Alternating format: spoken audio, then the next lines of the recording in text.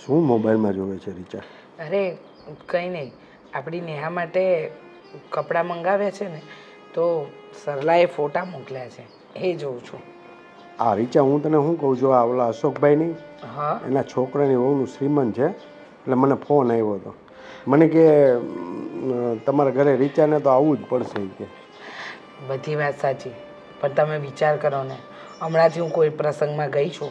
જ્યારથી તમે કીધું છે કે નેહાને એકલી નહીં મૂકવાની ત્યારથી હું નથી જતી.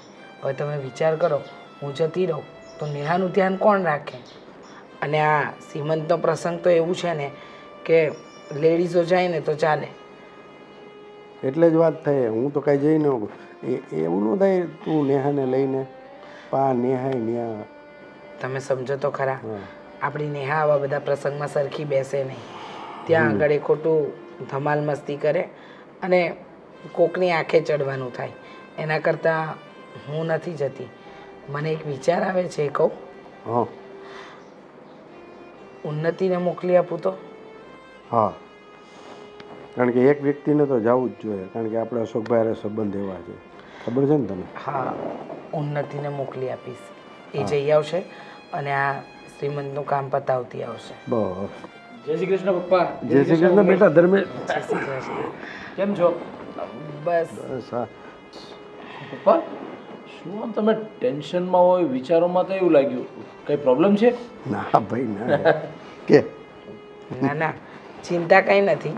આ પેલા અશોક અંકલ છે કે નહીં? હા કતારગામ વાળા હા. એમના મોટા દીકરાની વહુનું સીમન છે. અચ્છા. તો એમાં જવું પડે એમ છે. તો તારા પપ્પા કહે છે કે તું જા. હવે તને તો ખબર જ છે હું જાઉં ને નેહાને ન લઈ જાઉં તો એ ઘરમાં ધમાલ કરે અને ત્યાં લઈ જાઉં તો ત્યાં ધમાલ મસ્તી કરે. એટલે વિચારું છું કે ઉન્નતિ વહુને મોકલી આપ. પણ હું શું કહું છું પપ્પા ખબર? કે અશોક અંકલનો મારામાં મેસેજ આવ્યો હતો. ખાસ સ્પેશિયલી કીધું છે કે તારા મમ્મીને મોકલજે. કેમ કે અંજુ આંટી સાથે મમ્મીને બહુ સારું બને છે. એટલે એનું ખાસ કેવું છે કે પણ એક કામ કરો ને શ્રીમંત હશે એટલે કદાચ સન્ડે જ હશે ને? રવિવારના દિવસે જ હશે તો મારે ફ્રી છું. તો હું ઘરે રહીશ અને હું. સાચવીશ નેહુ નેહુને. તો તમે શું કામ ચિંતા કરો? તમે જે હો તો વધારે સારું રહેશે. શું કેવું પપ્પા? સારું. તો તો હાર અમારું હું એમ તો ઘરે હો ને ધર્મેશ ને પપ્પા હશું તો અમારી સાથે રહેશે. અરે એની સાથે આ ધમાલ મસ્તી કરવામાં કેમ ટાઈમ જતો રહેશે ને? ખબર એ નહીં પડે. અને અંજુ આંટીને પણ સારું લાગશે તું જઈશ તો મમ્મી. સારું સારું. જરૂરથી જઈશ. અને સાંભળ જે વ્યવહાર થતો હોય ને એ કરી દેવાનો. ખબર છે ને. ધર્મેશ એ વખતે? હા રે ખબર છે. પહેલી વાર જાઉં છું કે વ્યવહારમાં નહીં ખબર પડે? એવું નથી આ બધા વ્યવહાર તો આપણે કોઈ આપણું રાખ્યો હોય તો આપણે રાખવો જ પડે બસ પપ્પા મમ્મી. હવે શું એ વ્યવહારની વાતમાં લઈને? પણ હું તમને શું કહું છું? કે આજે આ પ્રસંગ છે તો આપણે સમજી શકીએ છીએ કે ચલો રવિવાર છે તો મારે રજા હશે. તો હું નેહુને સંભાળું જ કે નેહુ સાથે રહીશ તો તમે જઈ શકો. પણ તમને નથી લાગતું કે નેહા માટે હવે કાંઈ આપણે વિચાર કરવો જોઈએ કે પચીસ વર્ષની થઈ છે અને કેટલો ટાઈમ વીતી ગયો આપણે બસ આવીને આવી રીતે જ. વાત તો સાચી છે. ઘણો ટાઈમ નીકળી ગયો. પણ તને તો ખબર છે ને કેટ કેટલું કર્યું એના માટે? હું અને તારા પપ્પા. જે ઈલાજ દેખાતા હતા ને બધા જ કરી ચૂક્યા. પણ હવે મમ્મી સોરી હું તમને વચ્ચે રોકું છું. હું શું કહું? આજે એક ઇન્સ્ટાગ્રામમાં રીલ્સ આવી હતી. એમાં નંબર પણ આપેલા છે. એટલે મેં સેવ કરી લીધી. આવી રીતે માનસિક અસ્થિર હોય પૂરું એનું બ્રેન કામ ન કરતું હોય ને, એવા લોકો માટેની એક જગ્યાએ ટ્રીટમેન્ટ થાય છે. તો મારી એવી ઈચ્છા છે કે કદાચ આપણે નેહુને ત્યાં બતાવી તો પપ્પા, શું કહેશો તમે? જો બેટા? આ ઓનલાઈન ને આ સોશિયલ મીડિયામાં જેટલા પણ આ કંઈક વિડીયોઝ આવે છે ને, એ બધા ફેક જ હોય. આ બધા એડવર્ટાઇઝ કરવા માટે કરતા હોય. અને તને તો ખબર છે કે આપણે કેટલી જગ્યાએ લઈને દોડ્યા. કોઈ જગ્યાએથી આપણને રિઝલ્ટ મળ્યું? નહીં ને. હું ને તારા પપ્પા પથ્થર એટલા દેવ પૂજ્યા. જે ડૉક્ટરને બતાવવાનું કે, જે વૈદ્યને બતાવવાનું કે, બધે દોડી વળ્યા. ઓછામાં ઓછું ત્રીસથી પાંત્રીસ લાખ રૂપિયાનો ખર્ચો કર્યો. કોઈ ગમે એમ કે અહીંયા જાઓ તો ત્યાં જાય અહીંયા છેલ્લા દસ વર્ષથી હું ને તારી મમ્મી દોડી છે. પપ્પા, તમારી વાત સાચી છે ને. હું ક્યાં નથી જાણતો. તમે બધી જગ્યાએ જાઓ છો નેહુને આપણે સારામાં સારા ડૉક્ટરોને પણ બતાવ્યું છે. પણ ઘણીવાર મમ્મી એવું થાય છે ને કે નેહુની આવી હાલત જોઈએ છે ને તો અંદરથી ખરેખર બહુ દુઃખ થાય છે. કે કેટલો સમય વીતી ગયો અને એનામાં કોઈ ફેરફાર નથી થયો. અને આ જીવતું જાગતો આપણી સામે દાખલો છે. કે આવો પ્રસંગો હોય, ગમે ત્યારે સારા નરસા પ્રસંગમાં જવાનું થાય. હા, તો સારું છે કે સંજોગો વસાત આપણે એડજસ્ટ થઈ જાય છે એકબીજાને કંઈ જવા માટે. પણ હર વખતે તો આવું એડજસ્ટ થઈ જાય એવું જરૂરી નથી. એટલે આના માટે થોડું ગંભીર વિચારવા જેવું હોય એવું તો મને લાગે છે, મમ્મી. જો ધર્મેશ, આવા વ્યક્તિ હંમેશા નિર્દોષ હોય છે અને એની સાથે પ્રેમથી વર્તન કરવાનું હોય છે. અને સાંભળ, આ તારી મમ્મી એટલે લાડકોડથી ને પ્રેમથી ઘણો મારા ખ્યાલથી દસથી પંદર ટકાનો સુધારો આવી ગયો છે. હા ધર્મેશ પહેલાં કરતાં શાંત થઈ ગઈ છે. પહેલાં જેવી મસ્તી પણ નથી કરતી. હવે જેમ જેમ મોટી થશે ને એમ એમ સમજણી થઈ જશે. છતાંય તને અને તારા પપ્પાને યોગ્ય લાગે તો બતાવી આવજો. જો કદાચ સો જગ્યાએ રિઝલ્ટ નથી મળ્યા આ જગ્યાએ મળી પણ જાય. તારી ઈચ્છા હોય તો આપણે કોઈ વસ્તુ બાકી નથી રાખવી પહેલાં તું તપાસ કર આ આનું રિઝલ્ટ શું છે કોઈને સારું થયું છે. પછી તને યોગ્ય લાગે તો બરોબર ને? પણ એમાં શું છે કે આપણે આવીને આવી રીતે તમે જેમ કીધું એમ કે થોડી જેમ ઉંમર જતી જશે એમ સારું થતું જશે. પણ હાથ જો જોતામાં આજે પચીસ વર્ષની નેહા થઈ ગઈ છે. અને હજુ કોઈ એટલો બધો જોઈએ એવો ફરક નથી પડ્યો તો મનમાં ખરેખર એવું થયા કરે છે કે કોઈ પણ જગ્યાએ આપણે બતાવીએ ને જો સારું થઈ જાય તો નેહાની આગળની લાઈફ માટે પણ ખૂબ સારું છે ને આપણા માટે પણ ખૂબ સારું છે. ચિંતા તો મને થાય છે કે જ્યાં સુધી હું ને તારા પપ્પા જીવીએ છે ને ત્યાં સુધી તો વાંધો નથી. પણ ન કરે નારાયણને કાલે અમે આ દુનિયામાં નહીં હોઈએ ને. અમે તો શું આવું વિચારે છે? હું છું એનો ભાઈ. ઉન્નતિ છે. સમજી શકું છું કે ઉન્નતિ હજુ નેહા સાથે એટલી બધી મેચ નથી થઈ શકી, એમના સ્વભાવ સાથે મેચ નથી થઈ શકી. પણ એવું પણ તું ન વિચાર કે તમારા લોકો પછી નેહુનું કોઈ નથી. નેહુ માટે અમે હંમેશા છીએ અને રહેશું જ. પણ આ તો એક ચિંતાનો વિષય એ છે કે હર વખતે આવી રીતનું એડજસ્ટ ન થાય એટલે બની શકે એટલું ઝડપથી જો નેહુ સારી થઈ જાય ને, તો બધા માટે ખૂબ સારું છે. સારું. તને ઠીક લાગે એ કરી શકે છે. કંઈ નહીં મમ્મી હું શું કહું છું કે આની અંદર ફોન નંબર પણ આપેલો છે અને ઘણા બધાની કોમેન્ટ પણ એમાં આવેલી છે કે જે જઈ આવ્યા છે એ લોકોને રિસ્પોન્સ છે કે નહીં. એમની સાથે હું કોન્ટેક્ટ કરી અને જાણી લઉં છું જેનીથી એનીથી સારું હોય કોઈને રિસ્પોન્સ સારો મળ્યો હોય તો તમે હું અને પપ્પા આપણે ત્રણેય જઈ અને નેહુને જઈને બતાવી આવું. ઠીક છે પપ્પા? સારું. તો હું આમાં બધા સાથે વાત કરી અને પછી તમને કહું છું પાછું. બરાબર હા. ધર્મેશ કેટલો ડાયો છે? આપણી જેટલી જ એને ચિંતા છે આપણી નેહુને. હમ. જય શ્રી કૃષ્ણ. હા બસ જો આ પરવારીને બેઠી થોડીક વાર. હા.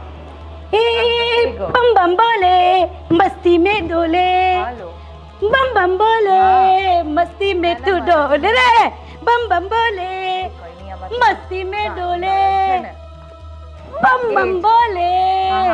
મસ્તી મે તું ડોલ રે. ખોજતી મેં છુપન સમજ નથી પડતી કે હું ફોન પર વાત કરું છું. મને રીલ્સ જોવી છે. નહીં મળે. રીલ્સ જો નેહા તને શાંતિ શાંતિથી કહું છું. બમ બમ બોલે. મસ્તી મે ડોલે. બમ બમ બોલે. મસ્તી મે તું ડોલ રે. હજાર વાર કીધું છે કે હું કામ કરતી હું બેઠી હોઉં ત્યાં તારે નહીં આવવાનું. ફોન. જા તારી માને કે તને ફોન આપશે. ફોન નહીં મળે. રીલ્સ. નહીં મળે કીધું ને. ભાભી મેં કીધું ને મને રીલ્સ જોવી છે. નહીં મળે. અને તને કહી દઉં છું કે હું જ્યાં બેઠી હોઉં ને ત્યાં આજુબાજુ ફરકવાનું નહીં. શું થયું ભાભી? કેમ અરે. રાડારાડ થયા છો? જુઓ શું રાડારાડ ક્યારની અને કહું છું કે મારી મમ્મી સાથે વાત કરું છું. ના દમ બચાડા કરીશ. એને એટલું ભાન નથી પડતું. આ પચીસ વર્ષની થઈ છે. આ બે વર્ષના છોકરા જેવા છે કામ ધંધા કરવાનું બંધ કરી દે. જ્યારે દેખો ત્યારે મજાક મસ્તી મજાક મસ્તી. બુદ્ધિ જેવી છે કે નહીં તારામાં? જો મારા ભાઈને કહી દઈશ. તો તમે આવું કરો છો ને? તારા ભાઈને તારા પપ્પાને તારી મમ્મીને બધાને કહી દે. પણ થાકી હું તારાથી. હજાર વાર તને કીધું છે કે હું જ્યાં બેસું જ્યાં કામ કરું ત્યાં આજુબાજુ નહીં ફરકવાનું. અને આને કહી દો મારા મોબાઈલને ના અડકે. નેહા નેહા મારો આજે હાથ ઉપડી જશે. ચૂપ છે? હું તને શું કહું છું? છોડ ને હા છોડ. તને કાર્ટૂન જોવા છે ને? આલે આલે મારા ફોનમાં આવે છે. આલે. રાજ તને કહી દઉં છું ખોટી ખોટી એની ઈચ્છાઓ પૂરી ના કરીશ. આ તારા લીધે છે ને એ ઘરમાં ધંપાચાળા કરે છે. અને શું નાની આની સાથે કેટલું મીઠું બોલવાનું? સમજતી જ નથી કોઈ વસ્તુ. પ્રેમથી સમજાવો તો પણ. અને આવા બધા છે ને એટીટ્યુડ મારી સામે નહીં ચાલે. જો તને ખાવા ટાઈમ પર આપું છું. તારું કામ કરી આપું છું એટલું શુક્રમાન બાકી તારા જેવીને ક્યાં સુધી મારે માથા પર લઈને બેસવી રહેવાની. અને રાજ લઈને જા ને થોડીક વાર મને શાંતિ મળ્યા ઘરમાં. હા ભાભી લઈને જાઉં છું. ને હા આપણે ખુશીના ઘરે જવું છે ને? જા જા. ગાંડી તો ગાંડી જ છે. મને ગાંડી કરી નાખશે. આજે તો મારે ધર્મેશને કેવું પડશે? કાં તો આ પાગલને પાગલખાનામાં મૂકી આવે કાં તો મને છોડી દે. ત્રાસી ગઈ છું હું તો. એ એ હમ. ને હા તું તો જીતી જઈશ. રાડુ નાખ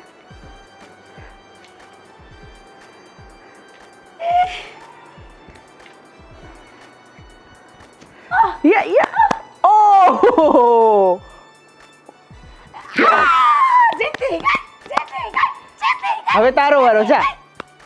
હવે નેહાનો વારો. જા. હા.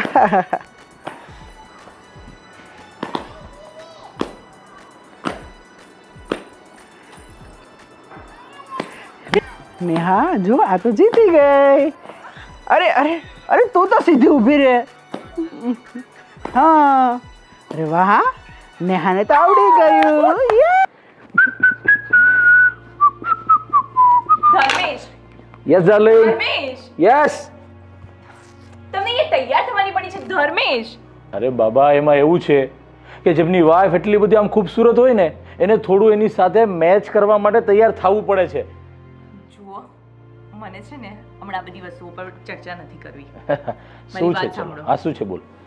કંટાળી ગયું છું ધર્મેશ. તમને કેટલી વાર કહું. આજે હું મમ્મી સાથે વાત કરતી હતી. મારા ફૈબાના ત્યાં લગ્ન છે. બરાબર? એનું બધું ડિસ્કશન ચાલતું હતું. અને નેહાબેન ત્યાં આવીને ધમ પચાડા ધમ પચાડા અને તમને ખબર છે આજે મારો મોબાઈલ ખેંચતા હતા. મારી મમ્મી સાથે મને વાત કરવા નહોતા દેતા અને મારી સામે એટલું ગુસ્સામાં જોતા હતા.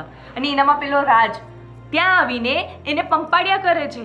અરે ક્યાં સુધી ધર્મેશ આવું ચાલશે? અને થાકી ગઈ છું યાર. જોઉં નથી. હું સમજી શકું છું મેં તને પહેલાં પણ કીધું છે અને હજુ પણ કહું છું. તું એની સાથે થોડું નોર્મલ બિહેવ કર ને એટલે ઓટોમેટિકલી તારી સાથે વ્યવસ્થિત વાત કરશે. નોર્મલ બિહેવ નોર્મલ વ્યક્તિ સાથે થાય ગાંડા લોકો સાથે ના થાય.